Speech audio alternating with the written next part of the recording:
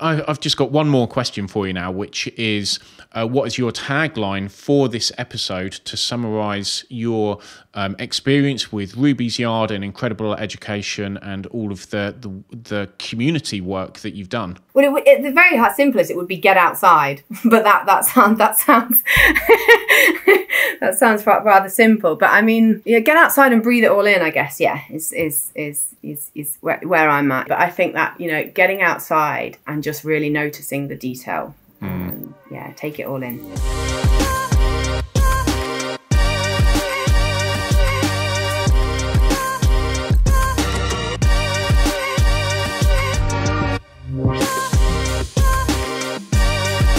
Hello, and welcome to Your Tagline here with me, Simon Tomlinson. This is a podcast all about people and their stories, and each week we get the guest to come up with the tagline for the episode to summarise their story. In this episode, I speak to Kate Gordon, who has created a community interest company called Ruby's Yard, which is a community space in North Warwickshire where people can experience and enjoy nature. Kate explains how she converted an old boatyard on the Coventry Canal into a peaceful site for outdoor sports, recreation, and learning, which is available for community organisations, youth clubs, schools, businesses, and family groups. She also talks about another CIC company that she's a director of called Incredible Education, which provides nature based services for local communities through horticulture and forest school activities. Before we get into the episode, I'd just like to mention our sponsor, Kiklab, which is a digital marketing company based in Birmingham in the UK. Kiklab have over 15 years experience and specialise in branding, websites, digital marketing, social media and more. So if you want to grow your business online, just head over to kiklab.com, which is K-I-K-L-A-B.com. Okay, without further ado, let's get started with the episode. If you do like it, then please make sure to give us a thumbs up and subscribe so you don't miss out on any future content. Hello, Kate and Jake. Welcome to the podcast. Hi, Jake. uh, hello, Jake. You're, Looking you're a bit gangster this morning, isn't he? Very gangster. um, the first baby that we've had on the podcast. uh, so we're gonna we're gonna see how this we're gonna see how this goes.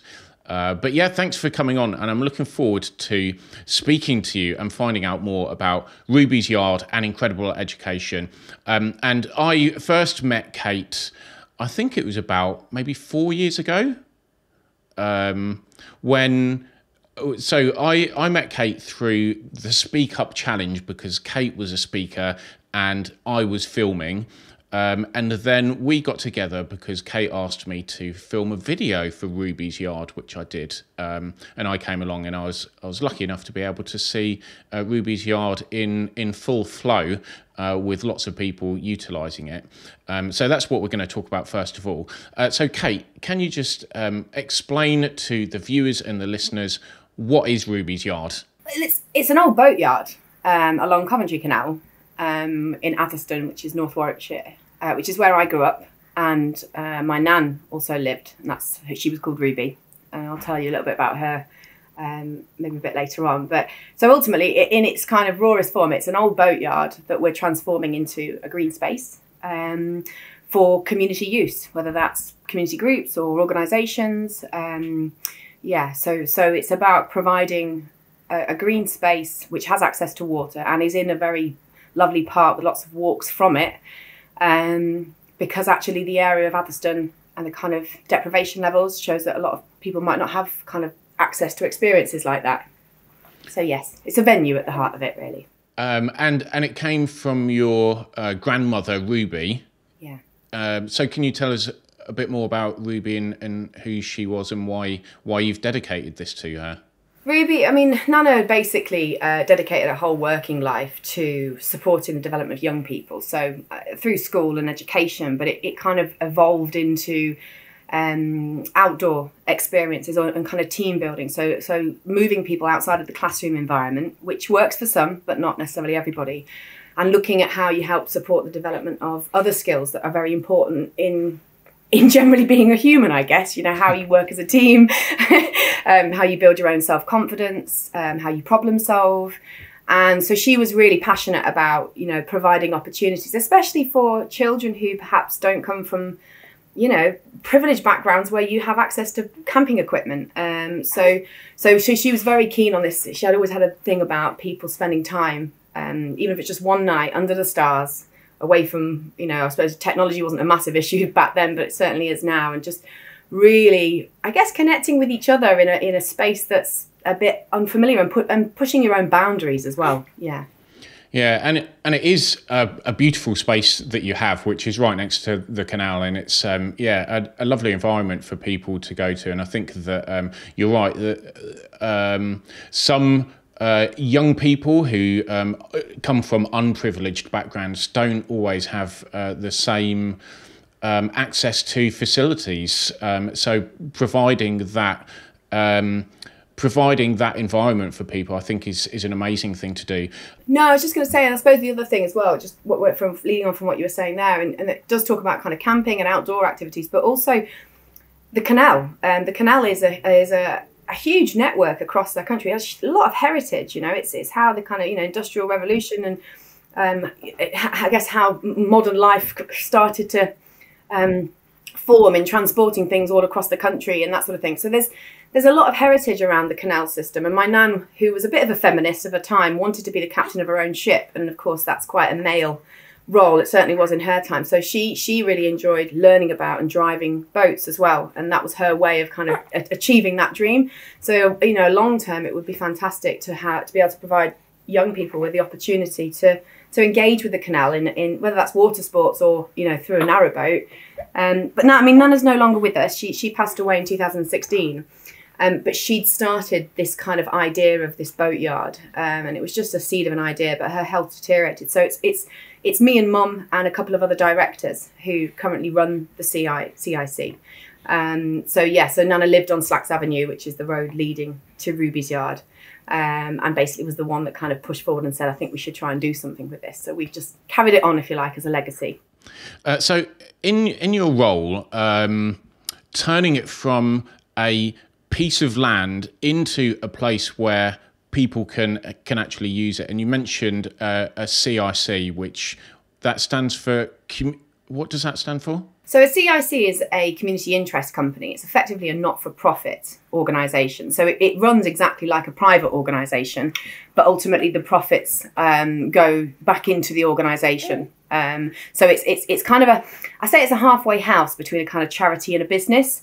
Um, we chose the option of CIC, and this is quite important, I think, when looking at your legal structures. And, and in hindsight, I think a CIO would have been a better option for us, which is a charitable incorporated organisation. Now, I'm not a legal expert, so I don't know the ins and outs of both of the options, but ultimately, there are some benefits about being a CIO. Um, that's closer to being a charity, but yet you can still run more like a business. So um, it means that you have access to more funding than being a CIC. Um, and it does mean that you don't have to register for things, you don't have to um, do corporation tax and things like that. So there are some benefits of being a CIO. CIO is a kind of more recent option, I guess, to segue between charity and private organisation. So the okay. two in the middle. And I think the one thing at the time we we got some legal advice and we kind of explained our vision. And I think you know that's where you always start, isn't it? And it has evolved over time. So I would think that now, based on the fact that we really do want to just access funding to keep topping up the site and making it a really fantastic facility. And the way that we're going to, the business model that we're going to follow in the future, we're probably more of a CIO than a CIC. So we're going to have to make that transition. Okay. Um, but yeah, it's worth looking, any organization, look into it and, and really work out which, which option is best for you, really. And how did you go about um, creating Ruby's Yard from the the the just piece of land that it is, what what were the steps that you went through? I'm not gonna lie, it's been quite tricky. um, I think in any in any piece of land, it's really important to look at, um, I guess, what facilities you already have on site. So we have electricity and we have water. So that's two big services that are ticked. Um, however, one we don't have, one thing we don't have is flushing toilets. Um, so we have, you know, had compost toilets and things like that. But ultimately, if we want people to be able to use the site for a weekend purpose and do water sports, which means wanting to have hot showers, so so there has been some complications. So I guess in terms of had it had it not been had it been land that we were choosing from scratch on our own back, I, we probably would have looked at all of that. But it was a piece of land that my nan had seen, and so we had to go with what what was there really. So that's been a real challenge, partly because of all the I guess the red tape that comes with any sort of development of a, of a, of a piece of land and property. And, and I would say that in the team of directors, that wasn't a particular skill set that any of us had. Okay. So there's quite a steep learning curve within the team that we had to try and yeah, understand that, you know, whether that's the Canal and River Trust or the Environment Agency or the Planning Authority or the local authority. Mm. So that there's um and even the, the, residents of Slacks Avenue, getting them on board and working okay. with contractors and understanding building regulations, all this kind of stuff just kind of emerges. So it's, I would say, if you were going to look at developing a piece of land, one thing I would do retrospectively now would be to get somebody in the team who's who's come from that background and can really support the journey and understanding and making sense of it. So yeah. It sounds like a lot of things to have to deal with, especially and a, and a lot of stuff to have to learn, especially dealing with local authorities, dealing with local residents. Um, uh, yeah, I imagine that there's a lot of uh, bureaucracy that you have to go through, and a lot of. And to be honest, I mean, I've really enjoyed learning about it. Really enjoyed it because it has been really interesting. But when you're learning in in such a slow pace, it takes longer. And actually, the benefit that we've had is our overheads are very low because it was land that my nan bought before she passed away. Okay. So we don't have rental charges. If you were trying to set that up and you had the overheads of a monthly or annual rental, then that's a huge impact on how how quickly you can move to make the site functional enough to generate income. Um, and that, you know, looking at the sustainability of a, of a business model, you know, that's what private sector does um, you know, anybody who's setting up a, a, a, business will do that. So I think the same principles apply when you're setting up a charitable, charitable um, incorporated organisation or a community interest company. It's how sustainable it is. Because yes, you can get funding, but it'd be great to be able to survive without always needing injections mm. of cash for your bread and butter, your overheads, and things like that. Talking about money, where have you got the money to fund this? Um, is it something that you funded privately, or have you done some kind of crowdfunding, or got it from somewhere else? Uh, yeah, I'd say in the early days was definitely a bit of kind of digging into your own personal pockets just to kind of get things moving. Um, just small kind of direct donations or loans here and there. Um, but but actually, once you register as a CIO or CIC, the doors open to accessing funding pots. Okay. Um, so my general belief in how you fund for a site is we've when when we need new assets or new facilities so new toilet block new wash a new slipway new steps to the back gate you know new landscaping new fencing when there's a kind of capital injection that's needed i would go for a funding pot but ultimately the long term game is to be able to generate enough activity in terms of renting the site that then means that you're able to cover all your overheads um, and keeping your overheads like electricity water you know mm. all that sort of stuff to a minimum um, which is part of the carbon footprint piece anyway as well. So okay. yeah, I mean our overheads are about at the moment about three thousand pounds a year, and that includes insurance. Okay. So based on the activity, if we were generating you know X amount of events per week or whatever, that would then mean that we'd be able to to do that, and we can still rent the site at affordable rate of about twelve pounds per hour. So we want to make okay. it like like a village hall because it's about being an affordable space in a community that doesn't have access, you know, debt-deprived area of North North Warwickshire. So, so people can hire the whole space for twelve pounds an hour. Yeah, so the, I mean, we've just upgraded all of the facilities, which means the overheads will go up. So we've okay. now got flushing toilets and showers. Okay. Um, you know, and there's there's electrical points across the site. There's paths now. You know, there's, there's a lot more stuff that will need to be maintained. Now we've really improved the site, and therefore we may well increase that slightly. But the view is that if we can generate income from, say, private hire, so it might be like um, you know, a group of people did want to hire it for a camping event that just a private private party, if you like, or something like that, then they might have a slightly higher rate because that will help them keep the low the cost low for youth groups and okay. uh, other sort of community groups that you know don't have as much money available because they're fundraising all the time. Yeah, so uh, I mean, it, it, sounds like it's fantastic value for money because I, I have been to the site. It was a couple of years ago that I was last there. So when I was there last, there wasn't flushing toilets or showers. Um, so it's and, and, and the pathways and stuff and the electrical points. So it sounds like you've done a, a lot of work, uh, but it is a fantastic piece of space. How uh, just to give people an idea of how big it is, I would guess it's probably maybe two football pitches. Yeah, something like that. Probably in, its totality, that includes the car parking area. Yeah. And, and that so yeah and i think the one thing that's lovely about the site is that yes you've got the boundary of the site but it immediately goes out onto the north arden heritage trail which is uh, mm. quite a well-known area for walking and there's a lovely bit of um, common land uh, alongside the golf course lots of woods and old ancient trees and then there's also a big recreational park. So it's almost like you've got your little environment that you hire but actually the space to go and explore is is much far beyond. You're not surrounded by roads if you like. Okay. Um, but sorry just to go back to your question about um, fundraising. So so in terms of that capital injection we've had a number of really of, of really significant parts. So we've had sports england who gave us about 140000 pounds um, wow. to to do the, uh, the the wash block and the running water and doing the whole landscaping piece, so making the whole area very camping friendly and putting up a boundary so that kids don't wander into the cut in the middle of the night if they're okay. in a tent, that sort of thing. Um, and we've had another pot from Canoe Foundation to upgrade the slipway, so it means we can be able to launch vessels. And we've also had another pot recently from Green Shoots, which is a local authority fund, to um, plant some hedgerow to support wildlife across the site and create natural boundaries and zones, if you like, um, and also put some solar lighting along the path so it's safe at night time as well. So that's all kind of going in now. Um, obviously, we've been impacted a little bit by the whole COVID situation, yeah. so activity's been a little bit light this year um, okay. in terms of events. Um, but we're, we're we're finding our feet again, like everybody is, I guess. Yeah. So just talking about events now, if there are people watching or listening and they're interested in using the space for something, uh, whether it's a youth group or a a team building event for their uh, company or whatever it might be, or just a group of uh, mates who want to use it to camp for a weekend. Um, how can how can they find out more about uh, actually using it, and how can they get in touch? Yeah, so we have got a website which is on the on the on the edge of just being updated. We're just getting some better photos of all the new facilities. So so there is a website which is um. Um, so if you just go to that website, you can find there's a contact form on there, and that that actual form goes directly to me.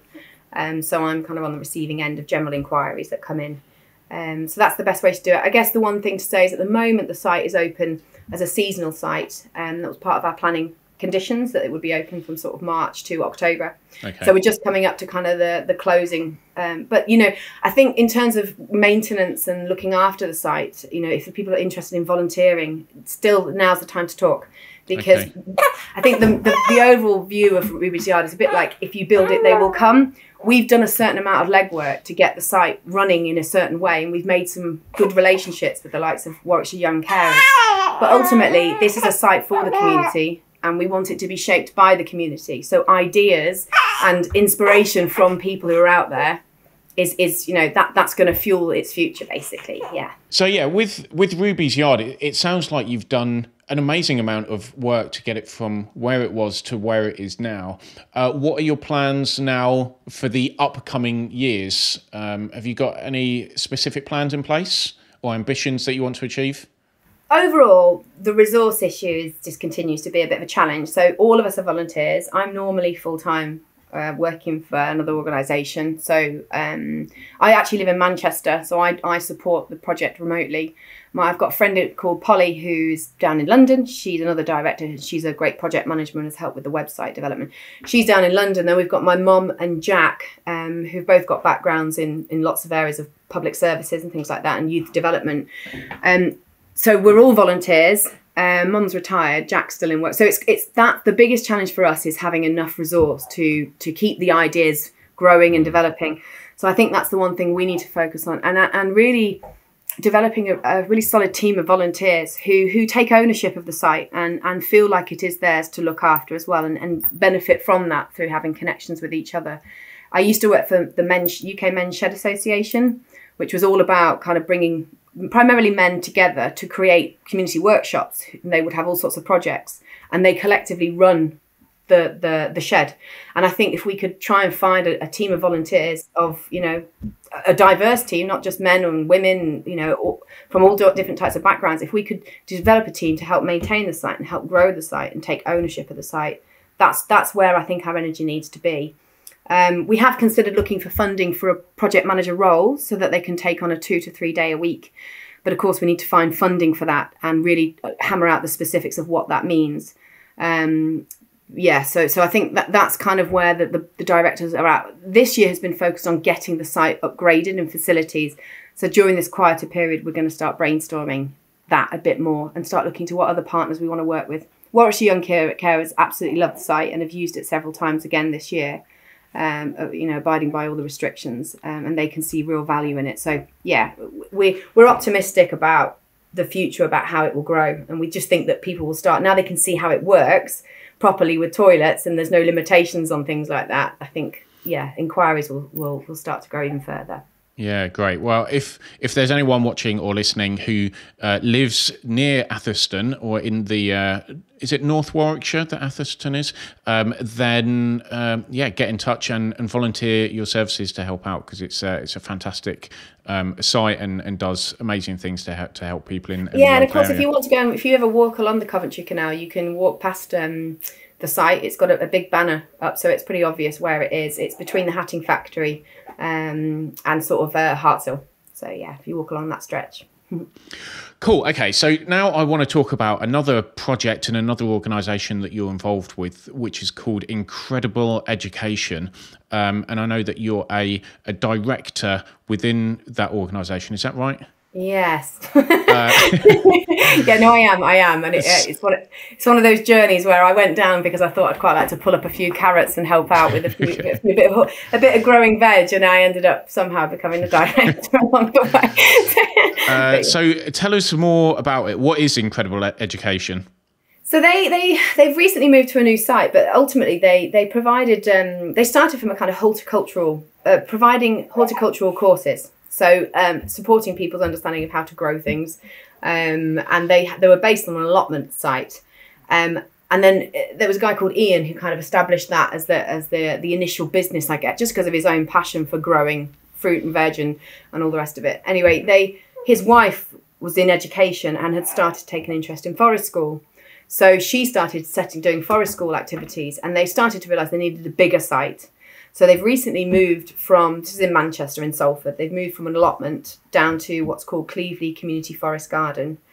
Um, and uh, it's a great site. I mean, it was it was a an abandoned, um, I guess, nursery, if you like, for for plants and things many years ago, and it's just become all overgrown. And they have, in the last year, um, have developed a really excellent team of volunteers who have completely, obviously with the support of Ian and Judith, who are both directors and the original founders, have completely transformed. I mean, it's incredible what they've done. And it, it just shows that if you get that solid team of volunteers in place, I mean, it's just, yeah, it's amazing what can be achieved. Yeah, absolutely. I, have had a look through the website, and it does look like a, a, a great organisation that does lots of uh, lots of different things to, to help the the local community. And there's definitely a, a common theme with the things that you get involved in, Kate, which is um, stuff to do with nature, stuff to do with community, um, and also stuff to do with education and like also with the stuff uh, with the things that you did before with men's sheds that that also had a a, similar theme to it as well. Um, so yeah that, that's uh, definitely something that you're you're interested in and, and passionate about. Um, so in your role as director for incredible education what is it that you that you really do yeah, they, so they invited me to be a director because um, I think when you're, especially a husband and wife team, um, as two directors, you can become quite, I mean, you can become quite focused in, in inward focused, if you like. So you can only see what you know. And I think they wanted some new brains from different perspectives to kind of come along and um, and sort of show, you know, what other opportunities there might be. And, and I think the the one thing they're quite keen for me specifically to focus on as a director is to look at how we develop um, a bit like Ruby's Yard in some way. They've got the forest school stuff well established. Um, they've got the horticultural stuff that was well established as well. But actually, what they wanted to do is see how the site, which was originally a kind of access to all, um, you know, allotment site and, um, and nursery, how can they turn it back into something that feels like there's some sort of community ownership? So one of the things that I've been supporting is developing a friends of group, um, which so outside of the volunteers who do the site maintenance and help with all the kind of practical on the site stuff, what can we do to develop a team of volunteers that go out and promote the site um, and and help support little events? So we did a summer teddy bears picnic event Uh, we've got a pumpkin carving event lined up in a few weeks' time. We've got a Christmas decorating event, Christmas tree decorating event, little conifers, and that's about bring inviting people to come down and basically do a little activity for free from some of the areas, the most deprived areas of Salford, to come down and actually engage with the site so that it's not just this exclusive site that you can only get access to if you're doing forest school or if you're doing horticultural course you actually have access to it and can can be part of the experience of Cleavley Community Forest Garden because it is a beautiful space. Mm. Um, so yeah, just just helping, I guess, develop sort of additional arms to the organisation um, is is where my role is is sort of sitting at the moment. Um, and and one thing they're really keen for me to help with as well, um, working with a guy called Gary, who's actually called from Incredible Ed- Edibles. Um, and that was all about growing, um, uh, yeah, making making use of um, available green space for growing things in communities. So, you know, where you see redundant green space in mm. a residential area, how can you make the most of that? So, he's got a lot of experience in supporting similar organisations, and we're looking at how we help the sustainability of the organisation long term. Um, because Ian and Judith eventually will want to re- retire. So, how do you do that succession planning now? So, when they go, the whole thing doesn't fall apart. So, we're, we're looking at that. So, it's kind of strategic stuff, really, which is, yeah, stuff that I'm interested in because it's um, problem solving, isn't it? yeah, no, it sounds like it, it sounds like a, a, great project to, to be involved in it. I imagine that it um, a lot of the things that you've learned from doing Ruby's Yard probably comes in in handy as well with that. Um, you've mentioned a couple of times Forest School. Um, can you can you just briefly explain what Forest School is and how that can help teach children or educate children in a slightly different way to the traditional uh, school classroom setting? Yeah, I, I believe it comes comes from the, the, the, the, whole thing of forest schools comes from Scandinavian countries. I think I think Denmark is a, a, big pioneer in it, but it, it goes back to I guess what my nana believed in, which was not all children le- learn in the same way, and a classroom environment isn't actually particularly supportive for a lot of children in, in in how they develop and how they learn and how they build confidence in their own abilities. You agree, do you? Um, sorry. Jake agrees, yeah.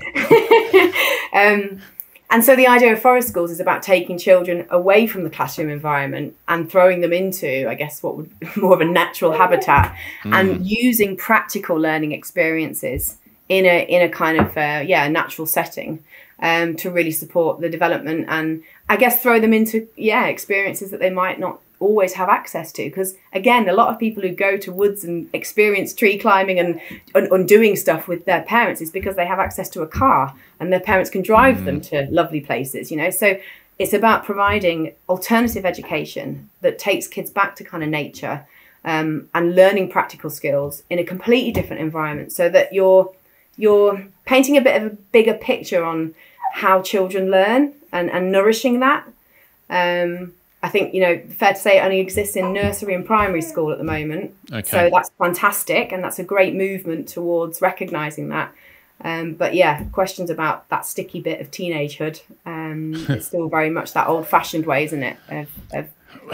Yeah. I mean, the school system is like been the same for many generations now. And uh, I don't know. Well, for for some children, I'm I'm sure it's great and it's fine. Uh, but some children, it's some children definitely find it hard, and I think having alternative schooling systems out there, and I think doing it in, in nature is is a great way to learn because that's on our natural habitat really at the end of the yeah. day. well, it? it? has a climbing effect just by being in mm. in nature. So I guess the the ability to to, to focus um, and actually really engage with what the teacher is trying to teach you is probably heightened by that. Yeah. Um, but yeah, it's it, it is a really interesting. I mean, I was I, again this morning. I just thought I'd watch, you know, Sir Ken Robinson's, um, who sadly has passed away now, but his um, his YouTube or his TED talk about whether or not schools kill creativity. I have a lot of friends who are in the teaching trade, and you know they are incredible people, so passionate, but mm. I think they are stifled by the system that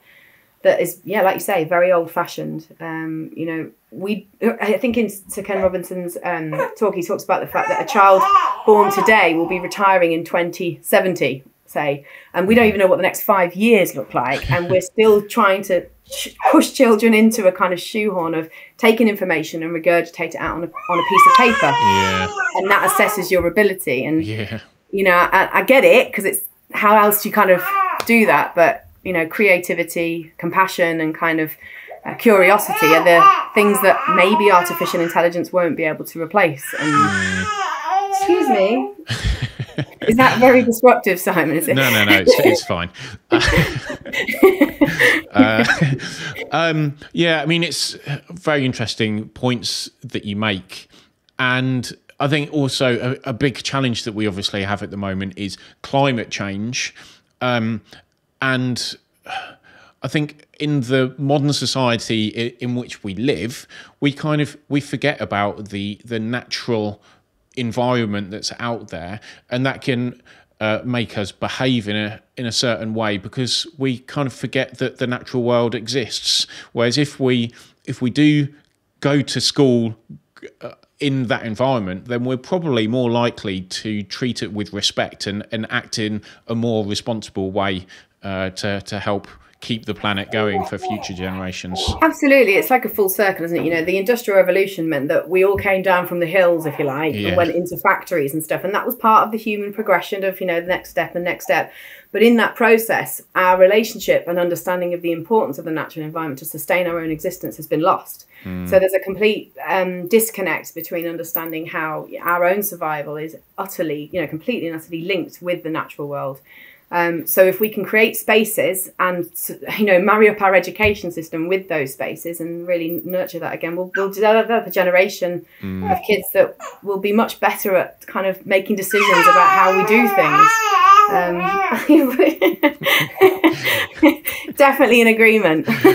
um, and, and another point as well that I would like to make is about technology because our world is filled with technology, and it's like, well, I mean, now we're recording this over uh, video conferencing, which is which is useful to have, uh, but I feel like the younger generation may become over dependent on that technology. So having facilities where people can just get away from it and um, and uh, yeah, just just have a, a break from technology, I think is is a really useful thing as well.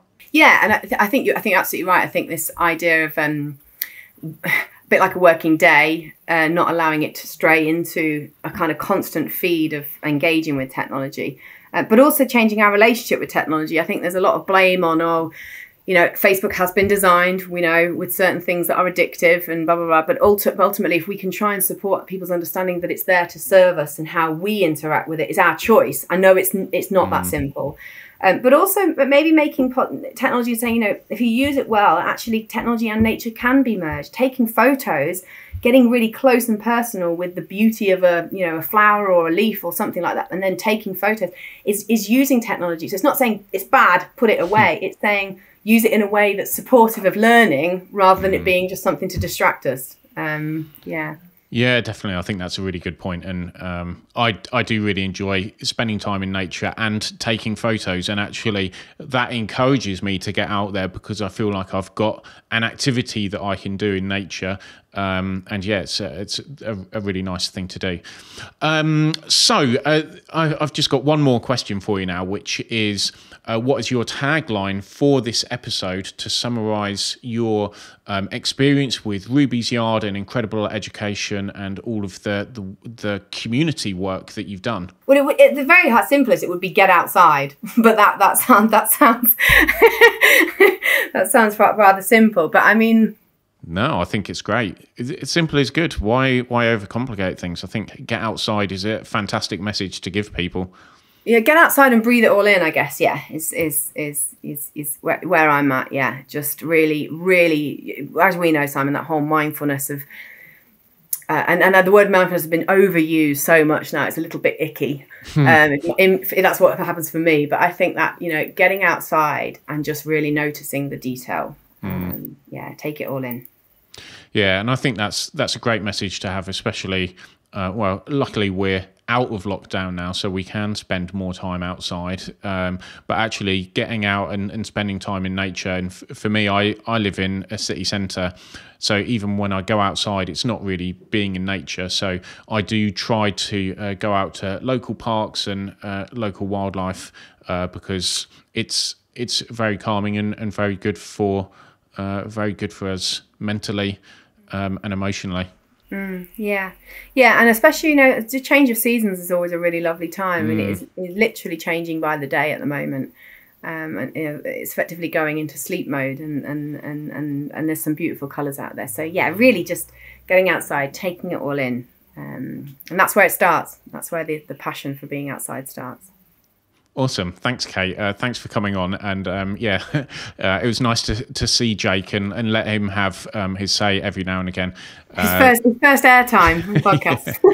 Uh, so yeah, thanks very much for coming on.